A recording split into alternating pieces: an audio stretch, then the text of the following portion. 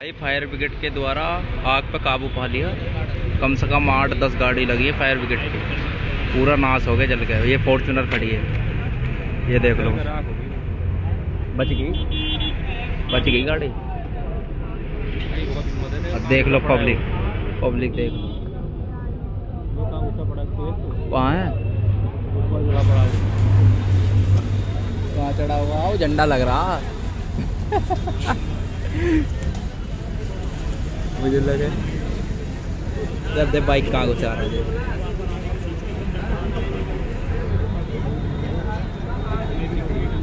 भाई साहब Gypsy Gypsy Gypsy Gypsy यहाँ देखो जिप्सी जिप्सी ये देख लो भैया फ्लाई ओवर ओप है पब्लिक